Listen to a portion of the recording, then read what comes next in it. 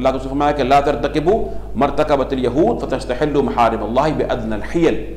کہ یہود کی طرح تم نے کام نہیں کرنا ہے کہ تم نے اللہ کی حرام کردہ اشیاء کو معمولی ہیلوں کے ساتھ جائز کر لو۔ اور ان کے ہیلے کئی ہیں، ایک ہیلہ اور بھی ہے۔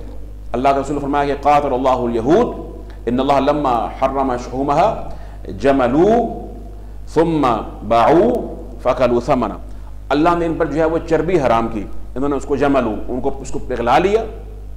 پگھلانے کے بعد اس کو تیل بنا کر بیچ دیا اور اسی قیمت کھا لی۔ چربی کو استعمال نہیں کر سکے، اس کا آئل بنا کر اس کو بیچ کر اس کی پیسے لے لیے اور کہا جی ہم نے تو چربی استعمال نہیں کی۔ اس طرح کے ہیلے ہیں، یہ تحایل ہے آج ہم مسلمانوں کے اندر بھی اس طرح کی چیزیں بکثرت موجود ہیں کہ جہاں جی کرتا ہے ولی ریاض باللہ، بعض لوگ جو ہیں وہ اسی طرح کے ہیلے اور خوبصورت ناموں کے ساتھ جو ہے وہ کر کر تو اللہ کے حرام کو حلال کرنے کی کوشش کرتے ہیں۔ فرمایا لترکبن سنن من کان قبلکم سنتن. سنتن!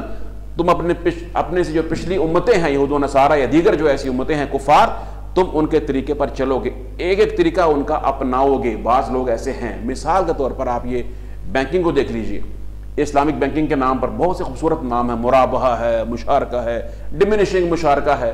جی ہم نے بینک کے ساتھ مشارکت کی، اس نے ہمیں گھر لے کر دے دیا۔ جی گھر لے کر دے دیا۔ جی بینک ہمارا پارٹنر ہے، ٹھیک ہے جی پارٹنر ہے۔ وہ مشارک ہے چلیں جی مشارک ہے۔ اب ہم اس کو گھر کا کرایہ دے رہے ہیں۔ کیا دے رہے ہیں جی؟ کرایہ دے رہے ہیں۔ جو اس کا پورشن ہے، جتنا حصہ اس کا میں اس کا کرایہ اس کو دے رہا ہوں۔ تھوڑے سے بعد جب وہ کرایہ قیمت میں کٹ رہا ہے۔ کرایہ کس میں کٹ رہا ہے؟ اس گھر کی قیمت میں جا رہا ہے۔ اور جیسے سے کرایہ دیتا چلا جائے گا، قیمت کم ہوتی چلی جائے گی۔ بینک کا حصہ جو ہے وہ کرایہ وصول کرنے کا جو حق ہے، وہ بھی کم ہوتا چلا جائے گا۔ اس کی ملکیت ڈیمینش ہو رہی ہے نا، کم ہو رہی ہے آہستہ آہستہ۔ دیکھو ماشاء اللہ کتنا اچھا طریقہ نکالا۔ ہے ہم مجھے بتائیں کہ کرایہ ایک شخص سو سال دیتا رہے، سو سال بھی کرایہ دینے سے وہ قیمت ادا ہوتی ہے چیز کی؟ تو کرایہ اس کے استعمال کی اجرت ہے۔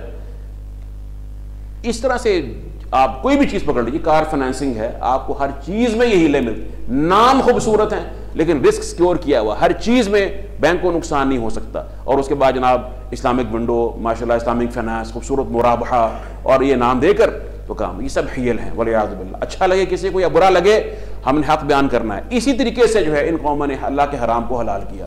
اس سے حرام حلال نہیں ہوتا۔ حرام حرام ہی رہتا ہے۔ اور اس طرح سے دیگر معاملات کے اندر یہ چیزیں کی جاتی ہیں۔ اللہ کے رسول نے سختی سے منع فرما دیا۔ یہ حیلہ تھا جو انہوں نے اختیار کیا۔